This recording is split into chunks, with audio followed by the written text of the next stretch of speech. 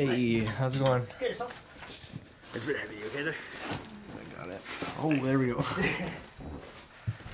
There you go, man. Thank you very much. You're welcome. Have a good one. You too. Welcome guys, welcome to Building It. Today we're exploring the construction of my new desk, table, benches, and coffee table. Let me show you how I put together this desk here.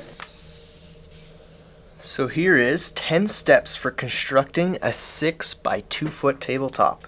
So first, we're going to need to source four 2 by 8, 8 foot long boards. And then secondly, we're going to need to cut off least preferred 2 foot ends of the boards. Third, we need to prepare our edges, also known as jointing. You want to clean up the edges and make them nice and straight. If you don't have a jointer, you can run them on a table saw. And then four is we're going to glue and clamp all of our edges together. Now for this, you're going to need wood glue, of course, and you're going to need six small clamps for culling, as well as six culls. Each of the six culls are going to be uh, the width of your table so that you can flatten the edges and you can cover one side of each with packing tape, the side that's touching the table so that the glue doesn't stick when you want to remove your culls. You'll see I didn't do this when I built my desk and I regretted it because I had to knock them off with a hammer which can damage your tabletop. You're also going to need three large clamps for bringing the edges together. Fifth will be planing the surface of our table. It'll be joined. Now if you don't have a planer, you can plane the surface with 60 and 80 grit sandpaper. Now be careful not to push too hard, not to gouge. Six will be doing sanding. This will be the major part of our sanding work to be done.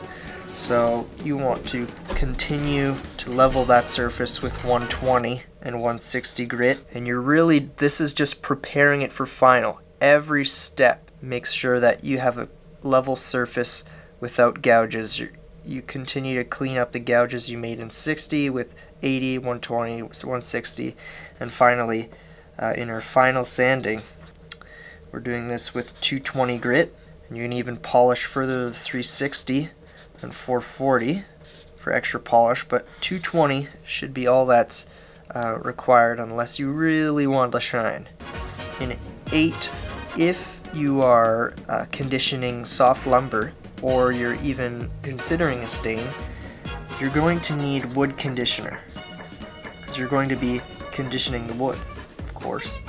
Next is 30 minutes later to an hour, you can apply your stain and make sure to wipe it down after with a cloth.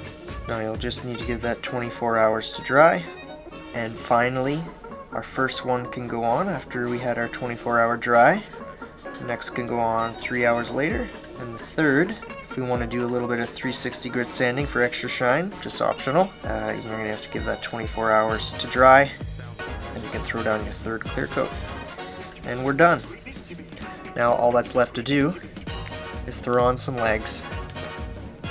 Now for the most part I did not really capture steps 1, 2, and 3 in the video, and neither did I capture steps 5, 6, and 7. Now I hope you enjoyed hearing these 10 steps. Uh, there are many more experts in woodworking that you can look up on YouTube. Just check out Woodworking for Mere Mortals if you really want to see more in-depth uh, tutorials on many of these steps.